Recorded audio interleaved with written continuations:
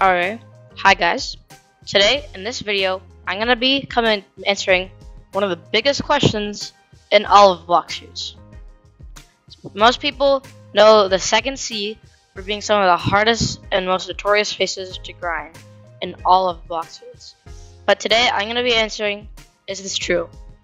So I'm gonna slowly go around to all the places and give you my honest opinion on all of them.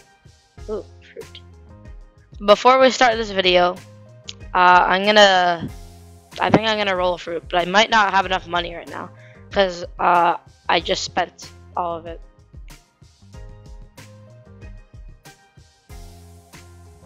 Oh, looks like I already have it.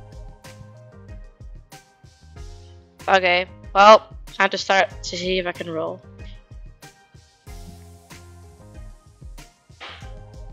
Oh yeah, looks like I don't have enough money. So first, the, the when you first come to the second Sea, you will be put right over here. On the dock, right there. Now, once you're, see, oh, there's a computer. So after you're on this dock, you'll have to go talk to the quest giver and you'll be put over here where you fight these guys, the raiders. Now, these raiders, they're fairly easy depending if you have a Logia fruit or not. If you have a low Logia fruit, they should be pretty easy to get to. Like, very easy, actually. Not very hard. And you should level up fairly fast. And after, you go back and you're over here. Now, one of the biggest problems, in my opinion, with the second Sea is accessibility. Because you, you can't really do anything in the second Sea until you get to, like, about level, uh, like 1,000-ish. If you don't get to that point, then it's going to be kind of hard. You have to get there pretty quickly, and that's why I'm making this video. So, one of the, here, it's pretty, like, I'm just going to do all of Area 1. So, Area 1, for these guys, they're easy to grind because they're close, and there's two pits of them. So, it's easy to do, and not that hard to actually accomplish. And after that, uh, you have to go fight Diamond.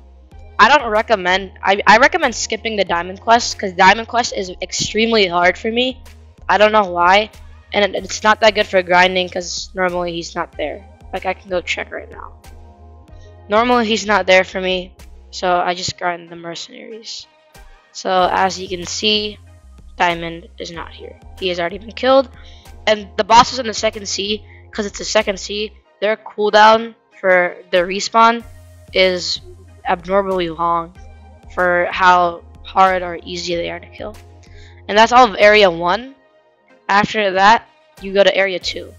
Area 2, it's easy to grind. I'm just going to skip all of Area 2. And I think the best way of grinding is server hopping Jeremy up there by on the top of the hill. He's pretty easy to kill because it's easy to dodge. The Swan Pirates uh, are good to grind because they're close up. But I don't recommend doing the factory staff because they can attack you if you have a Logia fruit or not. Because they have Blox Fruits, kind of. Then you come here to the green zone. The green zone, it's pretty easy to grind. I'm on the green zone. Pretty easy, not very hard. It depends if you have a all this really depends on your Blox Fruit. If you have a Logia fruit, then this should be fairly easy. But if you don't, uh, it's gonna be kind of hard. I'm gonna tell you that. So, with all over here on the graveyard, I've been here a few times. It's pretty easy to grind here because you can group them all up like three at a time. So it's pretty easy, not very hard.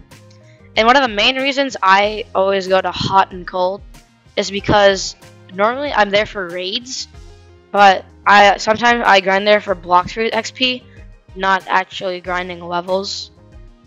So, but one of that's one of the good reasons. Like one of the uh, pros in the second Sea.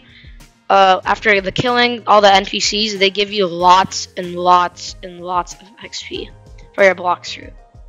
But slowly as you level them up, like as you can see, uh, I'm actually 331, 495,000, and when you kill NPC, they only give you 30,000. So it's kind of hard to level up once you get into higher numbers with your blocks. So I think one of the main reasons it's hard to grind is probably because of transportation. It's such a giant world and it's very hard to get around if you don't have a fire fly fruit. Before the actual update, uh, one of the best fruits to have was the door fruit because it was very easy to use and get around and it wasn't really that hard to level up. So that was that was a good thing, but they've replaced that with portal fruit, and I don't know how portal fruit works. So as you can see, if you just turn on your observation Haki, it's it's really not that hard to kill these guys. But I am lower level than them, so it's not really working.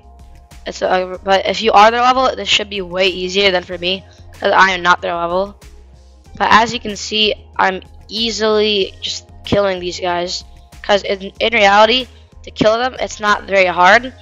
It's really just grinding levels out. But I think you guys already know when you get quests, normally it's above your XP level.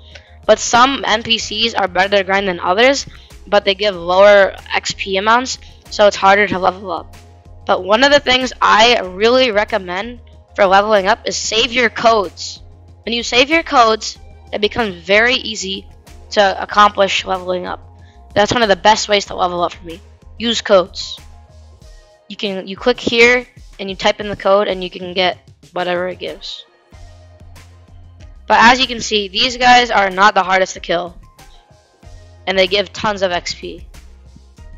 But in the higher levels, as I already told you, gets harder. But in conclusions, I think, uh, I honestly think the second Sea is pretty hard to grind with as soon as you get to level 1000. But the thing I really don't like is having like the amounts of XP you get to the ratio of the amount of XP you need to level up. I think that could be evened out a little more. Like I know you get like like a few million XP above, but in reality, if you're grinding other NPCs, it really doesn't work. But and you can't really do anything very like like in the second Sea, like some of the secret NPCs and stuff until you're level a 1000. So that's one of the hardest. That's what. That's one of the bad things I don't like in the second Sea.